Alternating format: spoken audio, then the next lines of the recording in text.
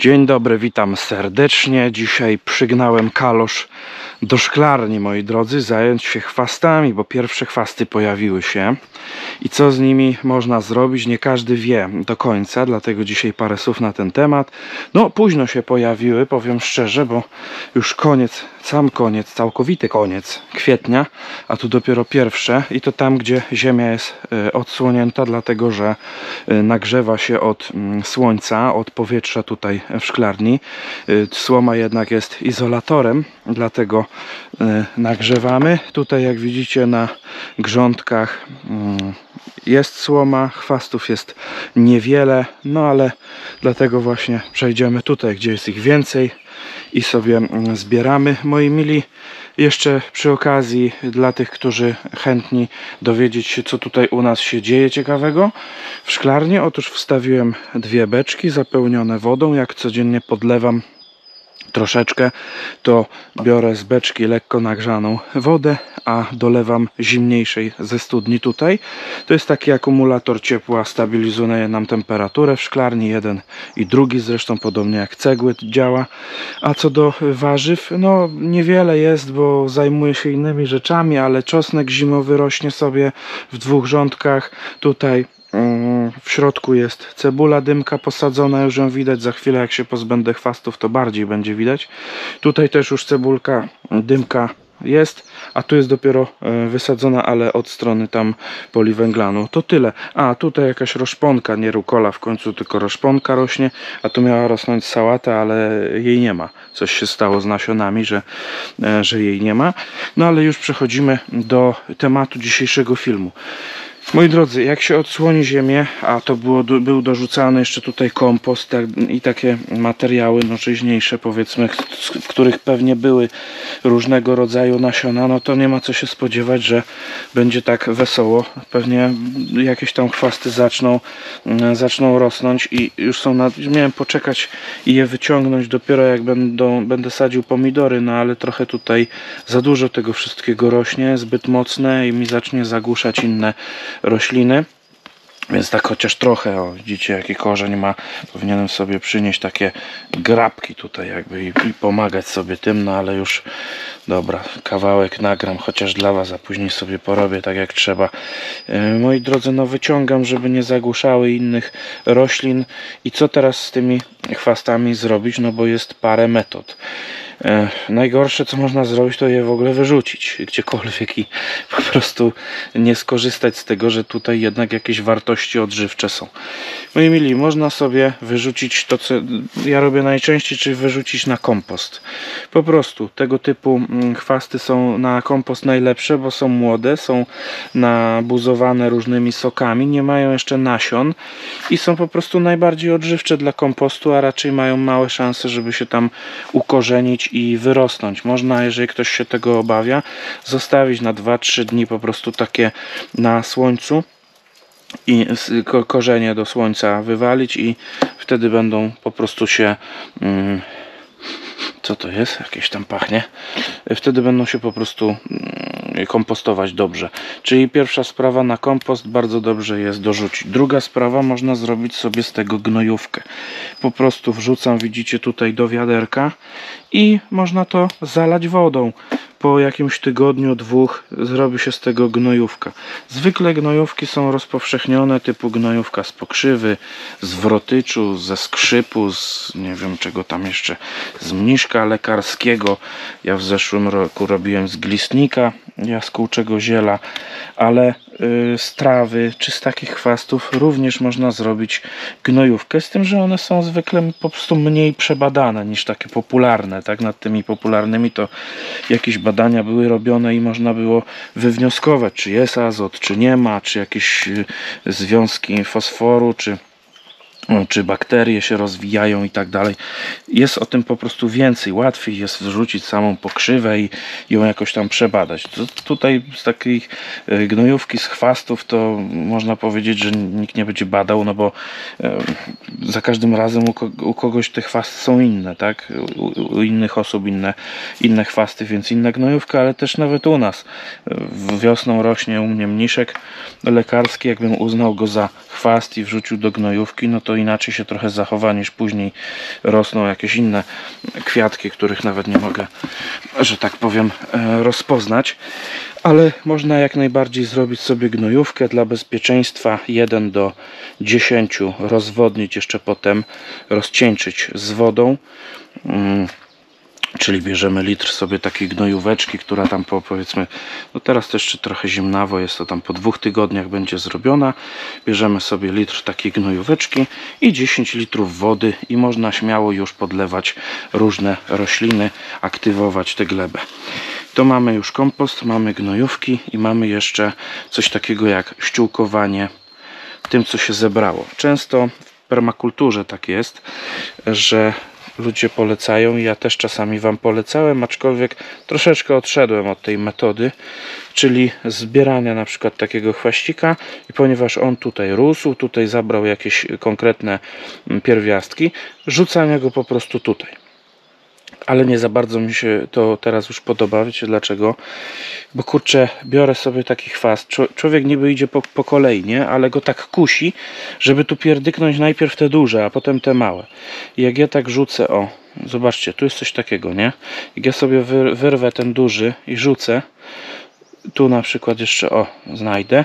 Tego już przykryłem i mogę go przeoczyć. Dopiero za 2-3 dni widzę, że mm, ten dalej rośnie większy a ten już mi zaczyna usychać. O jak widać tutaj może jest cebula dymka trzeba uważać, żeby jej nie wywalić. E, no tak średnio mi się ta metoda teraz już podoba. Skoro robię kompost, ten kompost tutaj wraca później. On też potrzebuje być odżywiany. Nie możemy tam wrzucać samych, nie wiem, uschłych liści tylko na, na jesień. Trzeba e, przez cały rok dorzucać różne rzeczy, a takie świeże chwaściki to dla kompostu jak najbardziej są wskazane. To mamy takie trzy metody. Kompost, gnojówki i ściółkowanie bezpośrednie, kompostowanie takie bezpośrednie tutaj. Y, na czym ściółkowanie raczej, bo jeszcze niektórzy wykorzystują taką metodę kompostowania w sensie wyrwą chwasty albo różne y, owoce, warzywa, odpadki y, robią tak, że jest nowa grządka, to od razu wrzucają do tej grządki. I powiem szczerze, że mm, takie pozbywanie się chwastów jest troszeczkę no, nie najlepsze, bo to jest tak, że na przykład o tutaj zbieramy tak te rośliny, później idziemy budować nową grządkę i to wszystko tam wrzucamy, zasypujemy. No niestety tutaj mamy problem tego typu, że te rośliny mogą się ukorzenić. Przede wszystkim wszechobecny pesz, jak te kłącza powyrywamy i rzucimy do kompostu, to tam zwykle jakaś temperatura go zabije. Po prostu mamy możliwość przerzucenia tego, tego kompostu na drugą stronę, więc trochę porosło, potem przerzucimy i wyschnie nam na słońcu, albo właśnie najpierw wysuszyć, Patrzcie, jakieś śmieci jeszcze mi się znalazło, zaraz sprzątnę. E, różne materiały człowiek zbiera z różnych stron, że tak powiem i czasami się zdarzają właśnie jakieś śmiecioki. Mm, wrzucimy do grządki taki świeży pesz i przysypiemy go, no to jest problem, bo on się może ukorzenić. Chyba, że ktoś go po prostu rzuci gdzieś, on uschnie i dopiero tak samo jak i do kompostu, tak? Tylko, że mówię, no w kompoście to się jeszcze przerzuca, a grządki to zwykle jak się przygotowuje właśnie w permakulturze, to nawet można przekopać na początku jakąś ziemię, gdzie tam pełno jest różnych roślin, chwastów, ale później jak już się powrzuca tam te wszystkie warstwy w dowolnej kolejności różnie ludzie robią, to no raczej już ich się nie rusza, nie przekopuje, więc możemy sobie wprowadzić te chwasty od razu do grządki. No i to takie średnie rozwiązanie jest, no ale też e, w razie czego można, tak? Nie ma, e, nie ma zakazu. E, co niektóre chwasty są że tak powiem, pożyteczne. Warto by było się czasem zagłębić w to, co to jest i nie wszędzie, nie, nie zewsząd je usuwać. Ale ja zabiegany. Nie będę teraz chodził tutaj z jakąś aplikacją do roz, rozpoznawania roślin czy z książką, żeby wszystko się, wszystkiego się nauczyć. Wolę po prostu, o widzicie tutaj troszeczkę mam chwastów, trochę mam ziemi, bo zawsze się trochę nabierze. To wszystko jak zalejemy wodą i zrobimy gnojóweczkę, to naprawdę będzie fajna, fajna gnojóweczka.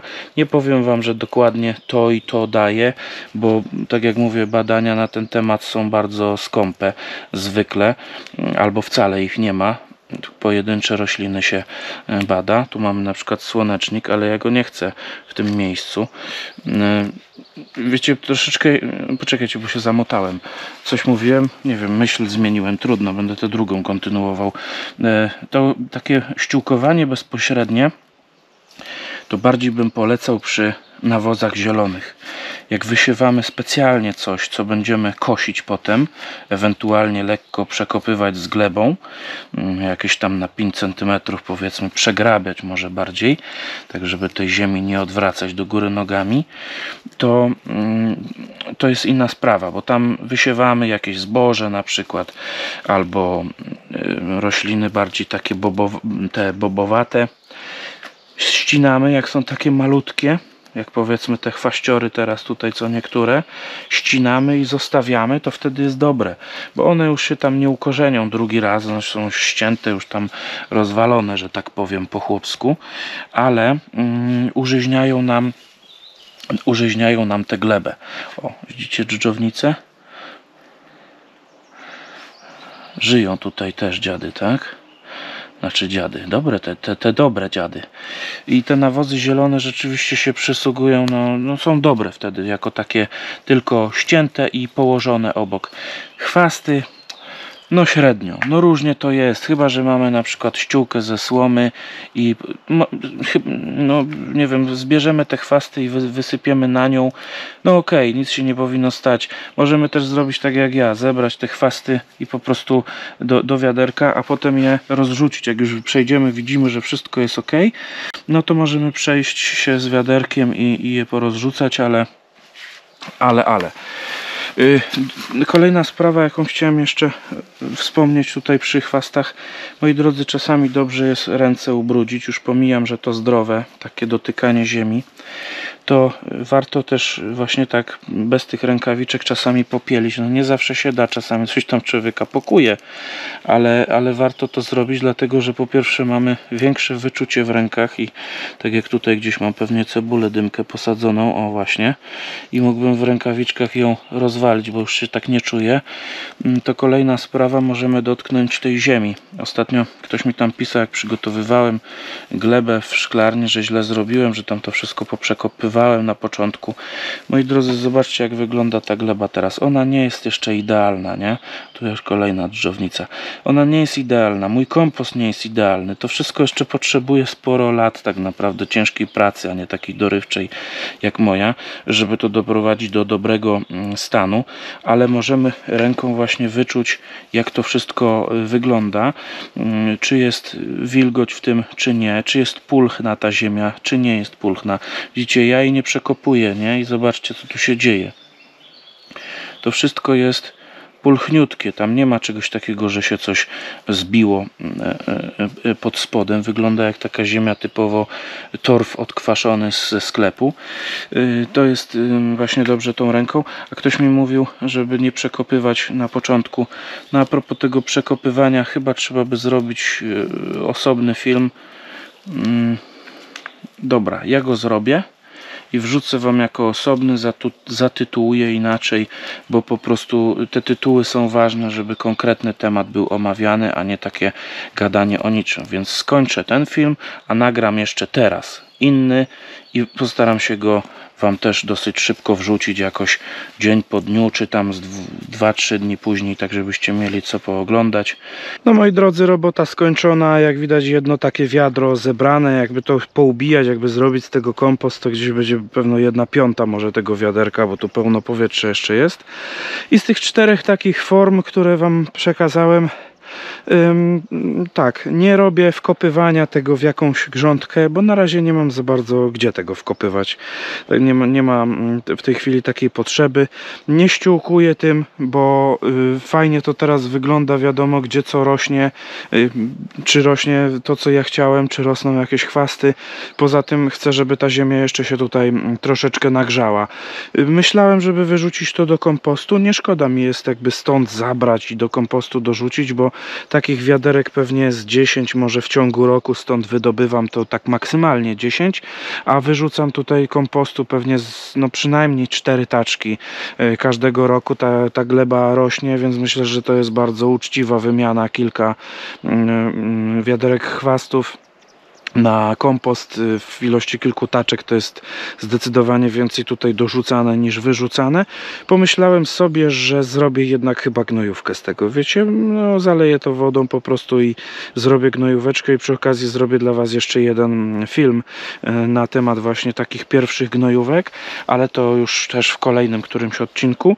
A teraz bardzo ważne jest, żeby to podlać, bo jak widzicie bardzo szybko wysycha, wzruszyliśmy tę ziemię podnieśliśmy trochę, żeśmy odwrócili do góry nogami, chcący lub niechcący.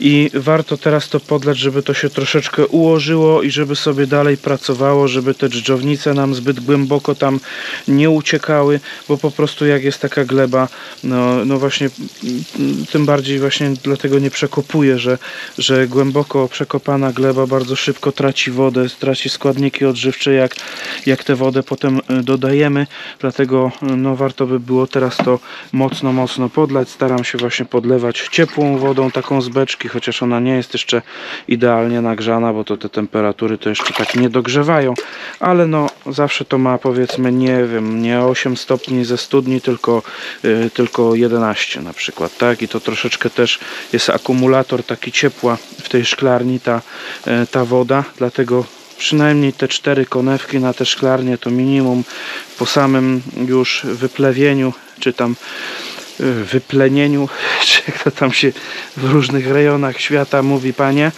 Y, Moi drodzy, to by było na tyle. Tak jak mówiłem, no ja zwykle z czterech metod wykorzystuję dwie, czyli gnojówka, a najczę najczęściej kompost. Y, y, W drugiej kolejności gnojówka, w trzeciej kolejności ściółkowanie tym, ale to jak się trochę zbierze więcej i mam wyściółkować na przykład koło drzewa lub ściółkuję po prostu rzucając na ściółkę jakąś inną już, że mi to tak bardzo nie przeszkadza. I na samym końcu dopiero wykorzystuję, jak zakładam jakieś nowe grządki, właściwie zakładałem nowe grządki i nie miałem innych materiałów, to ściółkowałem, znaczy wypełniałem grządki bezpośrednio takimi nieprzerobionymi materiałami, no ale tak jak mówię, to zwykle niestety powoduje fakt taki, że y, musi się to potem, ym, no, co ja chciałem powiedzieć? Y, Jest niebezpieczeństwo, że może coś wyrosnąć. Z ciekawostek tutaj y, na wiosnę, nie, zimą przycinałem, słuchajcie, orzech włoski, kosfort, taki samopylny. Nie włoski, co ja gadam, laskowy. I zobaczcie, takie mam sztorby, zrzezy, różnie to ludzie nazywają. Wsadziłem to do góry nogami, żeby sobie oznaczyć, gdzie mam rzodkiewkę posianą, a ten zaczął rosnąć. Jeden i drugi. Ten chyba się tylko nie obudził. Do góry nogami posadziłem, zaczęło to rosnąć. Tak jako taka ciekawostka. No nic, kończę już. Yy, Wszystko wiadomo. Jakby ktoś miał jeszcze jakieś porady lub pytania, dajcie znać w komentarzach. No i zapraszam do kolejnych filmików. Następny będzie o tej glebie tutaj w szklarni prawdopodobnie, no i o tych gnojóweczkach. Dziękuję za uwagę. Do zobaczyska. Pa, pa.